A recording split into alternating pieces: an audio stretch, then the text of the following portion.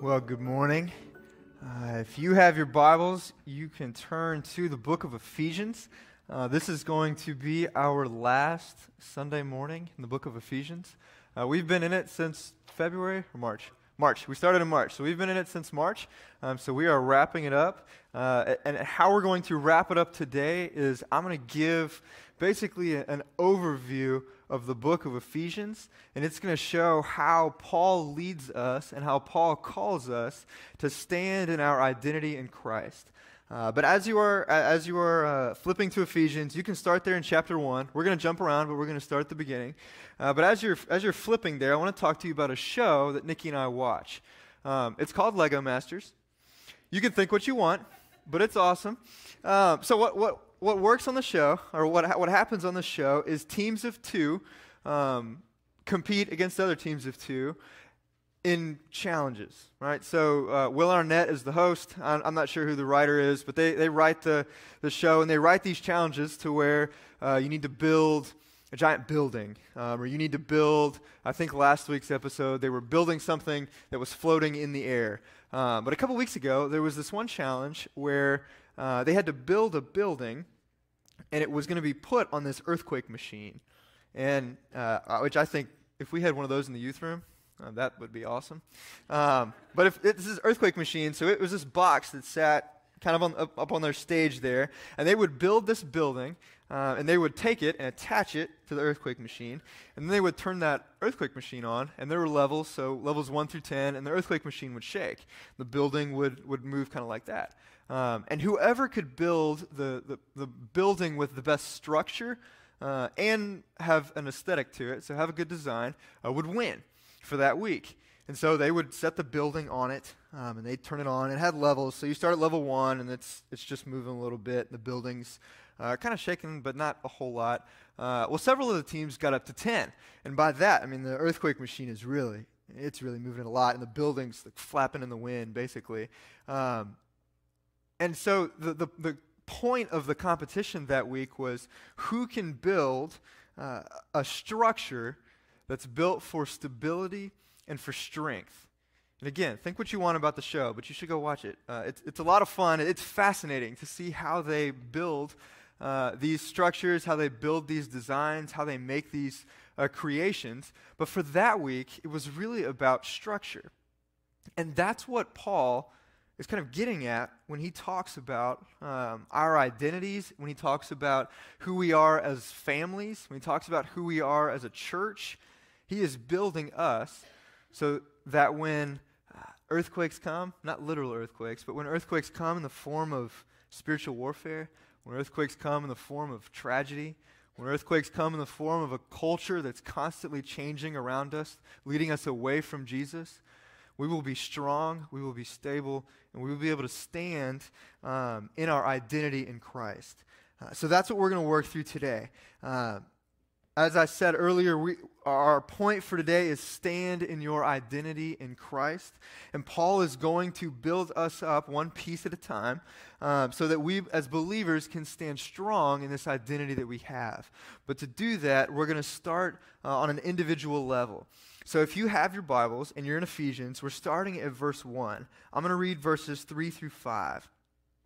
Paul writes, Blessed be the God and Father of our Lord Jesus Christ who has blessed us in Christ with every spiritual blessing in the heavenly places, even as he chose us in him before the foundation of the world, that we should be holy and blameless before him.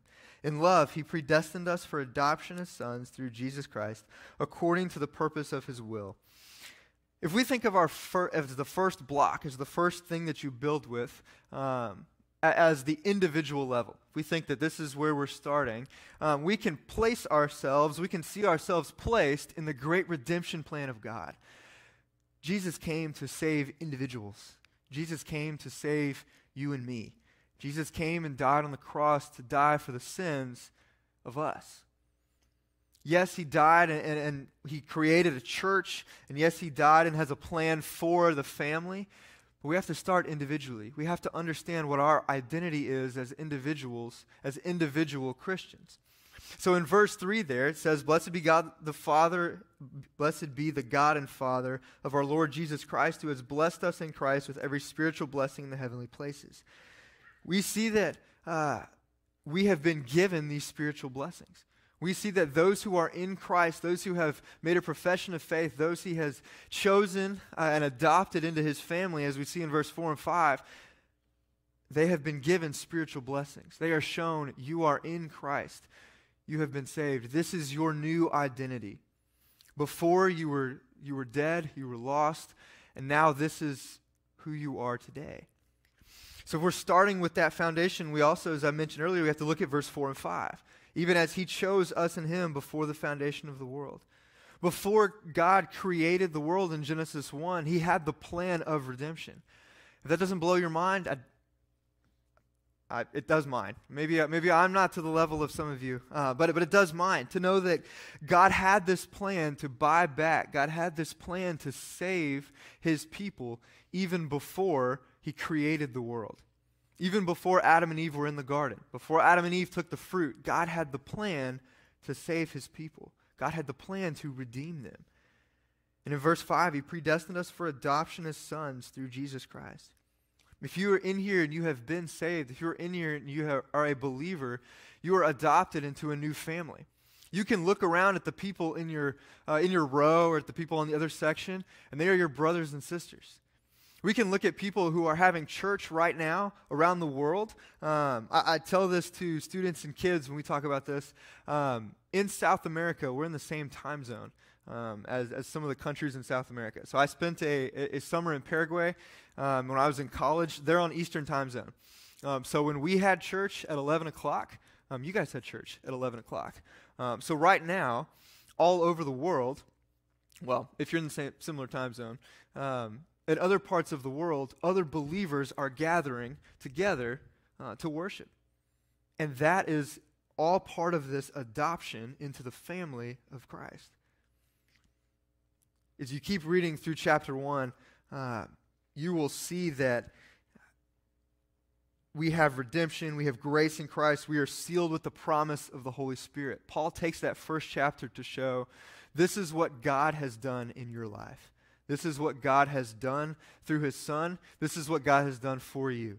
Uh, but let's continue reading. Let's move over to Ephesians chapter 2 and look at verses 1 through 5 as we continue to look at our, uh, our identity on the individual level for salvation.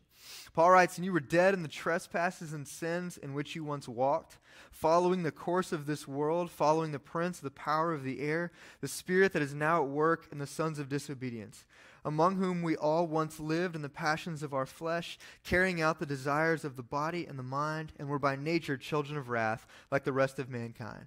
But God, being rich in mercy, because of the great love with which He loved us, even when we were dead in our trespasses, made us alive together with Christ. By grace you have been saved.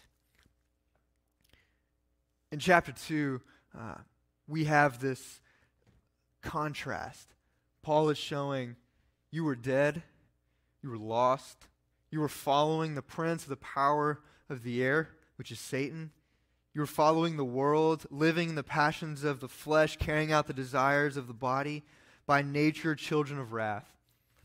But then comes the gospel in two words in verse 4 but God. Paul is showing that this is who you were. This is what you this is what your life looked like before Jesus, but God stepped in. God stepped in, He sent His Son for you. Because of His mercy and His grace, He sent His Son to die for us so that we can look at our lives and we can look back and go, This is how I was. This is who I was. This was my identity before Jesus. I was lost. I was dead. I was unable to do anything. But now, because of what Jesus has done for me, the sacrifice that Jesus made, this is my new life. And you guys will see the, a, a, picture of this at the end of the service when we do baptism. Uh, when we do a baptism, as I've explained to, or had the joy of explaining uh, to, to, some kids this week at VBS, uh, baptism is an outward sign of an inward reality. So when we put somebody down in the water, we bring them back up. Uh, it shows that uh, they have died, their old self has died, and their new self has been resurrected with Christ. You guys are going to see the exact picture of Ephesians chapter 2. The old has died, the new is alive. So, when we think about our identity and what this means for, for standing uh, firm in our identity, for standing in the face of uh, changing culture, in the face of spiritual warfare, in the face of, of tragedy in our lives, we have to lean on who we are and what God has done for us. We have to lean on what Christ has done for us. If you keep reading through chapter 2, uh, you'll, you'll read through verse 13, where he says, But now in, in Christ Jesus, you who were once far off have been brought near by the blood of Christ. You'll read verse 19, where he says, So then you are no longer strangers and aliens, but you are fellow citizens with the saints and members of the household of God. And then you'll read verse 22. He says, In him you also are being built together into a dwelling place for God by the Spirit. These three verses here show our position in Christ. When you accept Jesus as your uh, Jesus' offer of salvation, when you accept that gospel, you become one in Christ. It's, it's kind of an abstract thought. It's kind of a strange, how does that really work? Um, but he talks about how when you have accepted who Christ is, you've accepted this message of salvation, those who are far off have been brought near. Those who were strangers, uh, and, and not literal aliens, uh, but, but aliens as in um, people who were not considered the, the people of God, you have been brought in. You have been adopted. You have been considered fellow citizens. You are members of the household of God, being built together into a dwelling place for God by the Spirit. So, those of us in here who are believers, you are, you, you are being built together by the Spirit. You are being built together because of your position in Christ. And He is building us for this, uh, to live in this world. He is building us for a purpose to be lights in a world of darkness. Uh, when you accept Christ, when you make a profession of faith, you are automatically drafted uh, to fight against spiritual warfare. You're automatically drafted to stand in your faith we're going to get to standing as a family, and we're going to get to standing as a church, uh, and that's similar to, to being in the, the, the, company or being in a company in military. Um, but we must not neglect the individual level. Paul is writing to the churches in Ephesus, but he knows that these churches are comprised of, uh, of individuals. And each individual must know uh, their identity in order to stand rooted in that identity in Christ. So many of you know my dad was in the Navy. Um, he recently retired, uh, but he was in the Navy for, uh, I think, 28 years. Um, we moved around a little bit when I was younger, um, but from 2003 on, we lived in Virginia. Um, there are a bunch of military bases in that southeast corner of Virginia, so he just kind of got transferred from one to the other. Uh, he had a couple of duty stations with Marines. And um, if you know anything about Marines, or if you were a Marine, um, you understand a little bit of the Marine culture. Now, Marines are not soldiers, Marines are not sailors, they're Marines. Um, that is their title for them. Uh, you can, if you go to Camp Lejeune in North Carolina, which is a, a fairly large uh, Marine base there, you can pick Marines out on the street. Um, they usually have similar haircuts. Um, they, they kind of act a certain way. Um, if you're in here and you are very offended by my general description of Marines, I'm very sorry. But likely, if you're a Marine in here, you're probably not offended by it. Um, they have a, they, they kind of have a personality about them.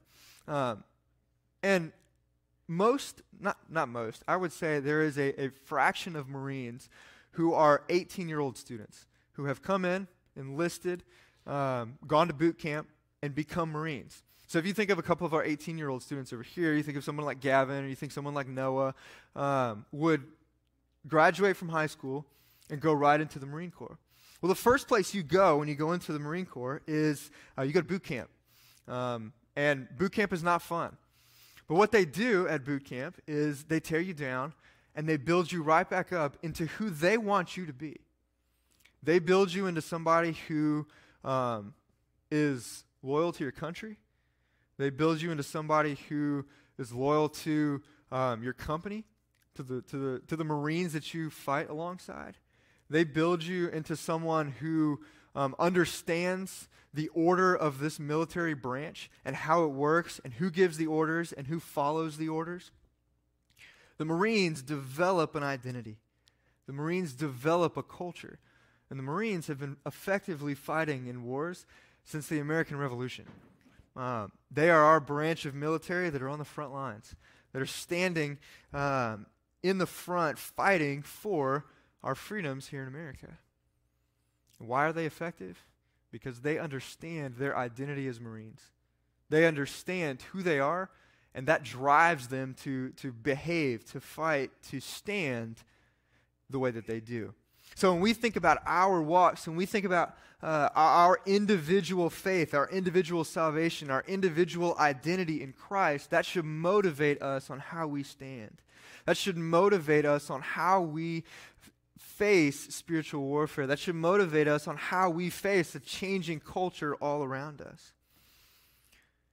He wants his, Paul wants his readers to know they are in Christ. He wants to build that foundation that if you are in here this morning, uh, if you are in uh, the reading of the letter of Ephesians back in the first century, he wants you to know you were lost, you were dead, but now you're alive. You are in Christ. You have been saved. You are you are you have been transformed. You are new. So if you're in here and you are a believer, then remember what Jesus has done for you and live according to your salvation. You've been drafted. It's time to stand. But if you're not a believer, you are still fighting for the wrong side. Um, I would urge you to repent, uh, to turn to Christ, um, to, to join uh, the, the, the, fight against the darkness. However, in our American culture, we can take the individual side too far. Um, we're, we're, very individualistic. Um, and what I mean by that is, is uh, we typically think what's best for the individual versus what's best for the group. And if you're sitting out there thinking, no, that's, that's not true, I'd never think like that. Um, we, we want to stand out, we want to make a name for ourselves. Um, we don't want to depend on anybody, we don't want to ask people for help. Um, if you've ever said, no one tells me what to do, um, Mason, yep. uh, right? If no one, if, if you've ever said, no one ever tells me what to do, that's individualistic. We want to, we want to be strong, special, standing out individuals. Um, and we can take this understanding of our individual identity too far. Well, Paul doesn't. In Paul's letter to the Ephesians, as we've gone through over the past several months, uh, we got to the section on the immediate family. So if you have your Bibles, continue to turn over to Ephesians chapter 5. And Paul talks not on an individual level, but on a family level. See, at the end of Ephesians 5, he, he, he uh, writes to the wives, he writes to the husbands on what a marriage should look like and what a, how a marriage is a picture of um, the, the gospel, how Christ loved the church. In the beginning of chapter 6, Paul talks to the children. He talks about how they are to honor their parents, how they are to respect their parents, because it's a commandment that has carried over from the Old Testament. Uh, and then verse 4 there, there's one small verse in there to fathers where he talks about fathers not provoking your children to anger but instead raising them um, in the way of the lord. Paul wants us to, to, to fight to stand in our families not just as individuals. See he puts the, uh, the spiritual warfare passage right at the end.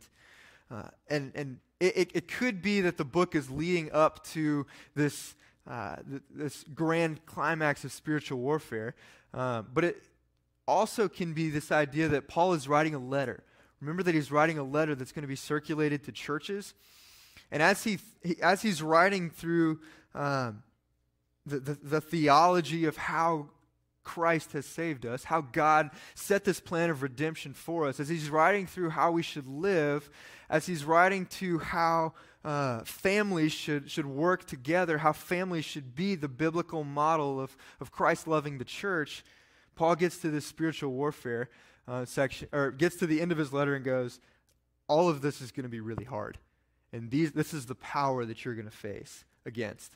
Um, so you need to be strong in these different areas. So if we think about our individual level, we, we, we looked at that. Let's continue to look at our, our family level.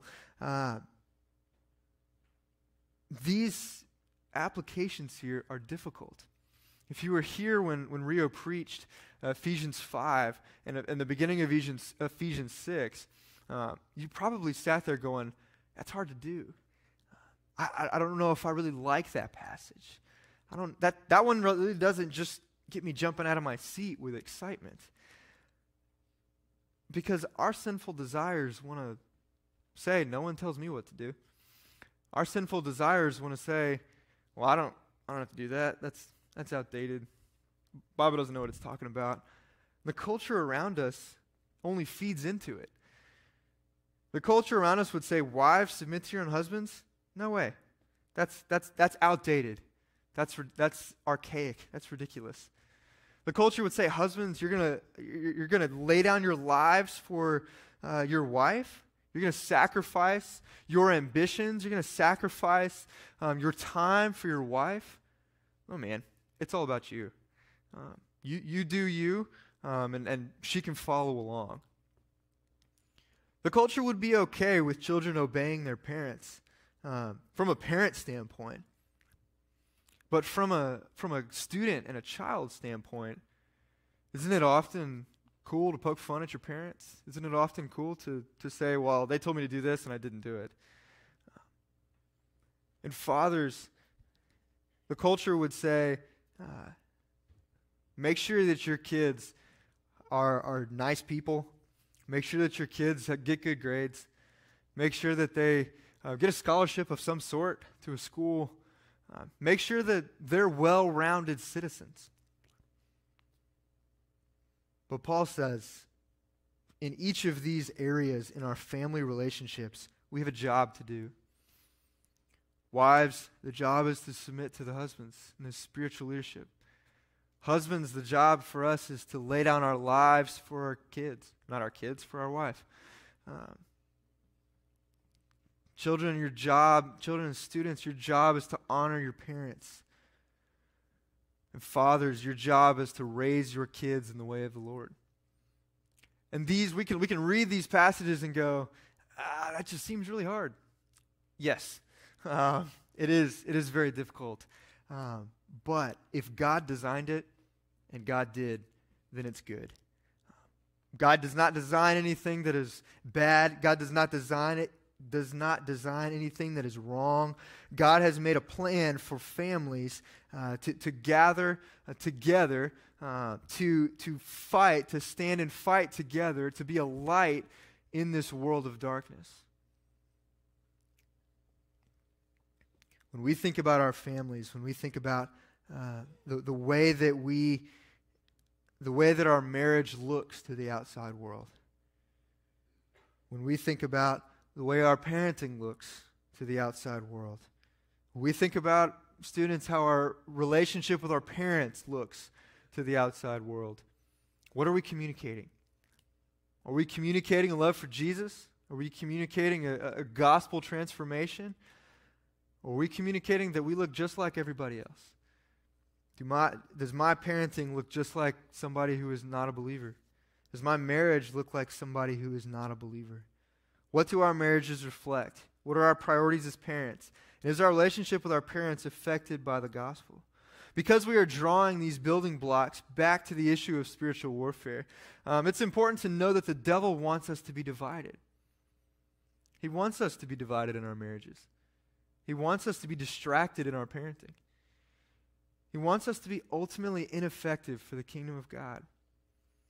See, if a biblical marriage is, is meant to point people to the love that Christ has for the church, then Satan is going is to seek to chip away at that love until what's left is just barely a tolerance for each other.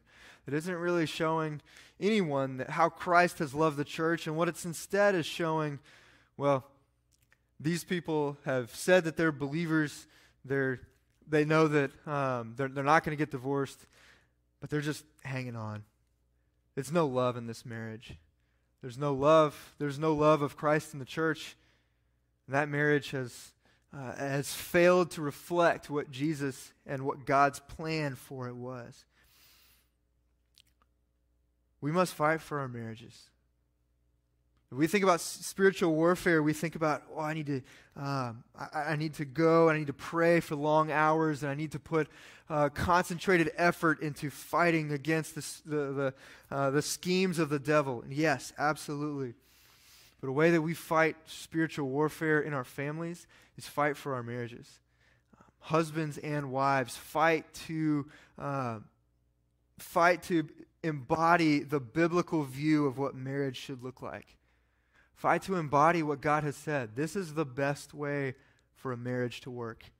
This is the way marriage is designed to work. Um, that is how we fight spiritual warfare for those who are married. For those who are kids in here, for those who are students, fighting spiritual warfare, you can think, well, I'm not quite old enough. Um, I just show up on Sundays and Wednesdays. Um, but our, our fight for spiritual warfare begins in the home. It begins with how we treat our parents. It begins with allowing our parents to lead in a way that leads you to Jesus, that leads you to a love for Scripture. And fathers, the way that we fight for uh, spiritual warfare or fight against spiritual warfare in our home is to train our kids. Uh, I, have told this uh, statistic, I, I, don't have the, the specific number, um, but the, the Muslim faith, the Muslim tradition, um, they have a lot of kids. Um, they're, I, I'm not sure why they have a lot of kids or what the factors are, but m- Muslim people typically have a lot of children. Muslim people are also really good at teaching their kids what they believe. And so, as Muslim families continue to grow with kids who continue to grow up to be Muslim, the Muslim faith expands. And as Christians, we have the same opportunity. Christians can have kids just like Muslims can have kids. Um, Chris, Christians can train their children in the way of the Lord and direct them to the way, to the things of God, just as uh, Muslim parents do the same thing. So, for those of you who are parents, for those of you who are grandparents, for those of you who are parents of kids who are no longer living at home, who may have moved out, who may have families of their own, you still have a responsibility to do.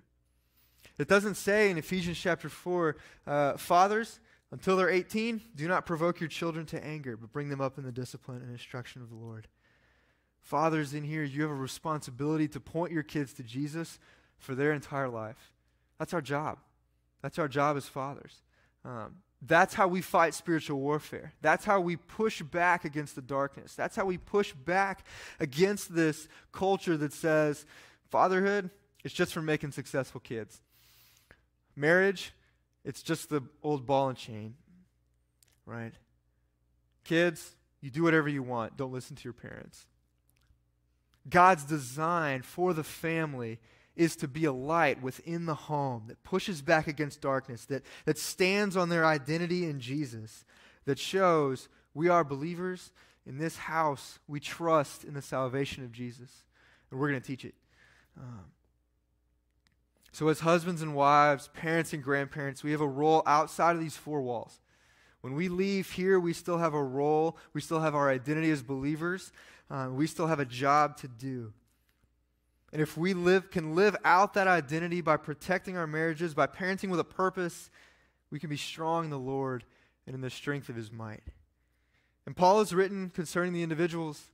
Paul has written now concerning about uh, the family. Uh, but let's continue to look at this, this last broader understanding, last broader building block that Paul is going to put together, and that's the church. Paul's going to show how the church is being built up in Christ and how we are to stand together to face the attacks of the devil. So flip back to Ephesians chapter 4. Um, we're going to look at verses 11 through 14. At the beginning of Ephesians 4, uh, Paul writes about the unity uh, well, first he starts with walk in a manner worthy of your calling, and then he talks about the unity of believers. Um, and I actually preached this passage um, several weeks ago. Um, so we did this then, we'll do it again too. Um, if you will look to your neighbors, look to your right, look to your left, look around at the people in here, you guys are all pretty different. Um, we, we have different likes, we have different dislikes, um, we have different personalities, we have different uh, preferences in the way church should go. But Paul says that we are all, uh, there in verse 4 of chapter 4, there is one body and one spirit. You are called to the one hope that belongs to your call, one Lord, one faith, one baptism, one God and Father of all, who is over all and through all and in all. Paul talks about the unity of, the of, of believers. So when we look around in here and we see all of the differences, we are all united in one gospel message. We are all united under one kingship of Jesus. So Paul has built your individuals, uh, the, the, individuals on their identity in Jesus. He has built the family to show this is what, uh, when he's writing to the family, he, this is what the family should look like. This is how it should go. Now he gets finally to the church. Verses 11 through 14, Paul writes, And he gave the apostles, the prophets, the evangelists, the shepherds, and teachers to equip the saints for the work of ministry, for building up the body of Christ, until we all attain to the unity of the faith and of the knowledge of the Son, Son of God, to mature manhood, to the measure of the stature of the fullness of Christ, so that we may no longer be children, tossed to and fro by the waves and carried about by every wind of doctrine, by human cunning, by craftiness, and deceitful schemes. What Paul says is he's, he, gives these gifts in verse 11. He says apostles, prophets, evangelists, shepherds, teachers. Um, and then in verse 12, he gives the purpose to equip one another for ministry in order to build up the body of Christ for the purpose of building each other up. But why? Verse 13. Until we all attain to the unity of the faith and of the knowledge of the Son of God. Basically, maturity. As we meet each Sunday, as we meet each Wednesday, as we gather together in homes and in the community throughout the week, as we come together, we are stirring each other to maturity in Christ. So that, in verse 14, Paul says, so that we may no longer be children, tossed to and fro by the waves, carried about by every wind of doctrine, by human cunning, by craftiness and deceitful schemes. Paul's talking about standing. Paul's talking about building a body of believers who will stand.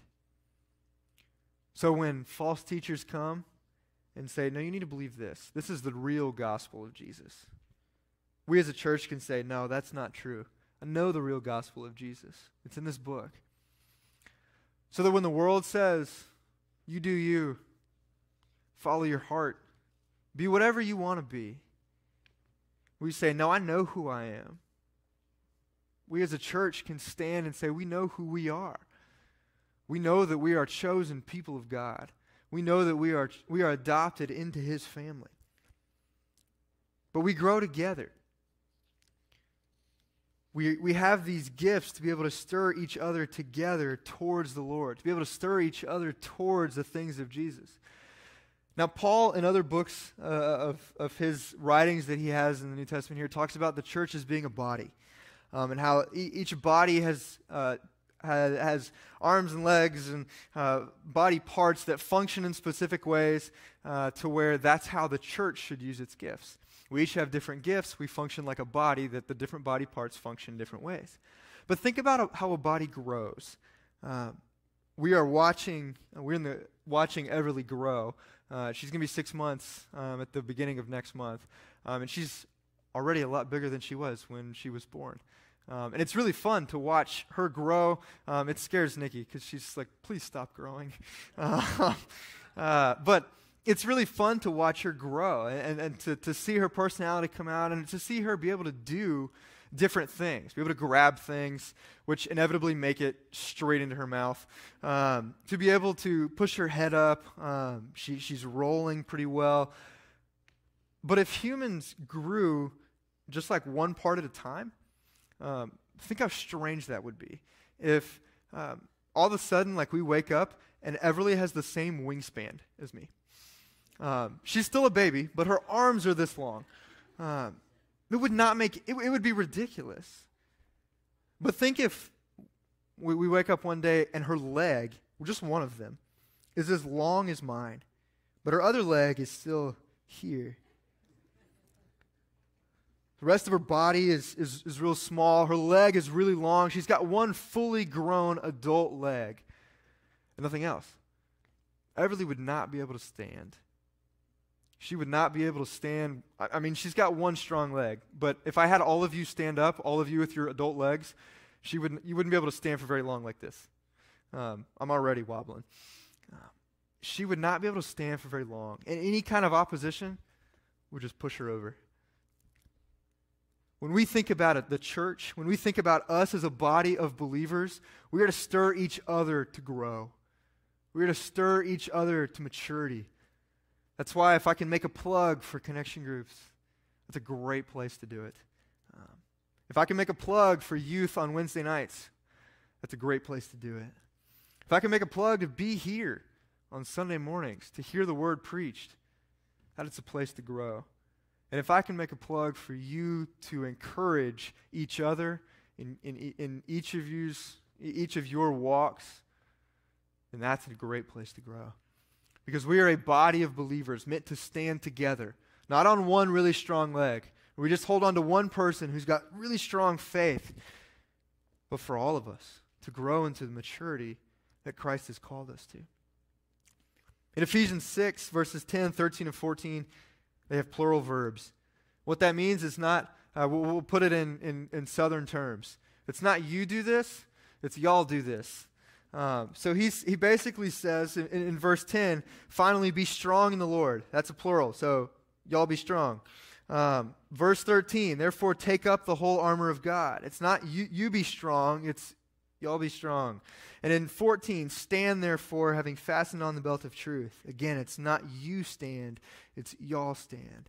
Paul is writing to the Ephesian church, saying, as a church, stand together, shoulder to shoulder, linking arms, helping each other grow, right? This is Paul's message. As we build individuals, as we build families, um, as we build the church, as we, as we come together to see what Jesus has done for us, as we come together week after week uh, to worship, to hear the word, uh, to grow together, to encourage, to see people saved, we are pushing back the darkness. We are gathering together to fight the fight of spiritual warfare. And as we wrap up our study in the book of Ephesians, I want you to think through how we have responded over the past couple months. See, some have come forward to join the church uh, since the beginning of Ephesians. Some have come forward uh, to, to pray for, for personal issues going on in their lives. Some have come forward for salvation. Some have brought their families forward and prayed together with them. But what have we done outside of the church? When we leave these four walls, I'm not, I'm not implying that none of you have done anything outside of the church, but I want you to think. When we leave these four walls, uh, where we, we, we, can come up and we can pray and, and we can make commitments in these four walls, but what does our life look like? By all means, if you're coming this morning to, to pray, do so. If you're going to come this morning to join the church, please do so. If you're making a profession of faith, we'll never turn any of you guys away. But what about on Monday? We can, we can nod and say, yes, we want to stand in our identity. We want to fight together as a church. We want to fight together as a family. But what about on Monday? What about on Tuesday? What about on Wednesday? We're three days away from the, we're, we're, three days removed from the service, the, the sermon. Um, if it hasn't already been forgotten by then, it is now. Um, and, and we've moved on. How do we stand and fight then? What commitment are you going to make to say, this week, I'm going to push back the darkness. This week, on these days, fathers, I'm going to stand with my family. I'm going to pray for them. I'm going to, I'm going to point them to Jesus. This week, I'm going to do X, Y, or Z to fight for my marriage. Guys, do we know our identities in Christ? Are we living in them? Are we standing strong in the face of spiritual warfare, or have we shrunk back in comfort? We shrunk back in ease. I show up on Sundays, I show up on Wednesdays. Uh, church is exciting, life's good. Or are we gathering together? Are we standing in our identity? Are we fighting against the powers of darkness? Standing in the victory that Christ has already won? If you are a believer this morning, I would say take time to pray and to ask God what role He has for you. Pray that He would remind you daily of your identity in Him. Pray that you would surrender every aspect of your life to Him. And guys, if you're in here and you're not a believer, I would urge you to repent of your sins this morning. Ask the Lord for forgiveness turn from the life that you were living, recognize that you are dead in your sins, and trust in Him. Give your life to Him. The altar will be open this morning. Let's pray. God, I thank you for uh, the, the, the opportunity to gather. I thank you for the opportunity to, to hear your word, to study your word, um, and to do it.